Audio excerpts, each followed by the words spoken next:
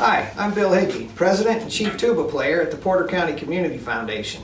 On behalf of the Board of Directors and staff of the Foundation, we'd like to extend the warm holiday wishes to all of you, filled with the love of family, the joy of friends, and that special peace that only tuba music can bring.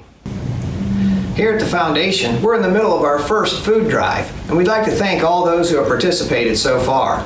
We're still collecting until December 23rd, so if you'd like to bring some food in, we'll add $25 to the endowment fund of the charity of your choice. If you'd like some ideas on what to bring, here are our board members.